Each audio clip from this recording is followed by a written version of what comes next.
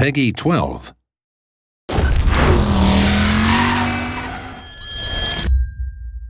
The innovation of Shift, it's a real game changer. It's an ability that you've never seen before in a video game. It totally, totally changes the way you play a driving game. Shift's an ability that Tanner gains at the beginning of the game, and it's completely interwoven into the storyline. I could sort of pick a body, and wham, I'm inside them.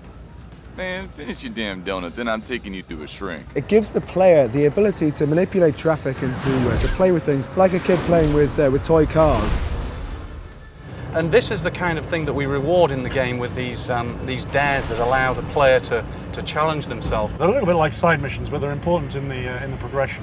These anything like uh, jump 20 meters. To uh, achieve a certain speed or a certain length of drift and all sorts of other simple challenges as well. So as you play through the game and achieve your objectives, you increase your willpower. Willpower is sort of currency of the game, so the shift ability isn't, isn't free. The shift ability is earned by cool driving.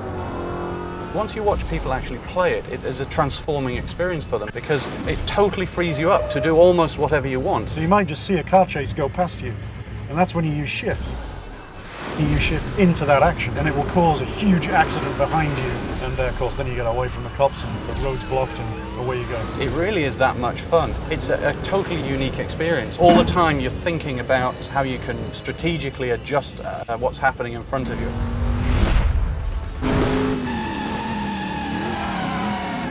Throughout the game, it actually upgrades as Tanner becomes stronger. First thing is that uh, the shift itself becomes more powerful, so we can pull further up and see more of the city, more of the cars. That changes the kind of mission we can do with Shift. So we can create situations where you have to, to move very fast in different spaces to settle problems.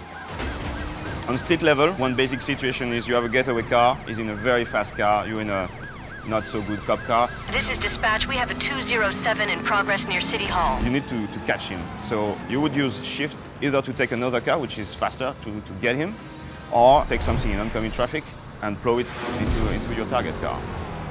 The game is completely designed around shift, so it's not like a cheat, it's not like it's a, an unlimited ability, it's actually uh, integral to the gameplay. One of the first upgrades that, uh, that we have is what we call rapid shift. So if you're two cops in a cop chase trying to take down a getaway car, one push of a button and you can rapidly shift between those two cop cars. We have boost, which is like a nitrous uh, type of thing. We have ram. Ram ability is like a punch. You can just swap cars and just always be at the heart of the action. Shift out, shift in, shift out, shift in. It's faster, it's quicker. You can be in one car and then a fraction of a second you're in a car that's a few hundred yards up the road. It transforms your perception of what a driving game can be. As soon as people get their hands on it, they just get it and they love it.